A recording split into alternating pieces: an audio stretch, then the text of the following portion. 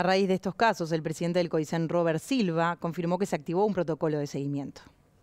Se cumplieron, estamos haciendo una información, pero se cumplieron todos los protocolos, hubo diálogo permanente con, este, em, la autoridad sanitaria del país y se procedió a em, todo lo que implica, digamos, la limpieza y cuidado del ambiente donde esta situación se generó. Hay algunos contagios, pero según me dicen también, no es epidemia, no hay que generar alarma, sí mantener todos los protocolos, ¿verdad? De desinfección, de cuidado en los espacios donde se compartieron que todo ello se ha hecho en la escuela donde, que es la escuela 60, que es donde en definitiva la situación se generó. Siempre este, es necesario llevar adelante medidas preventivas, nosotros las, las estamos llevando, pero en este caso, según me explican, reitero, yo no sé el tema, fue algo excepcional, este, que rara vez deriva como derivó y lamentablemente tenemos la situación que tenemos. Pero reitero, para tranquilidad de toda la familia, hemos cumplido con todos los protocolos que Salud Pública y además hemos estado siempre en diálogo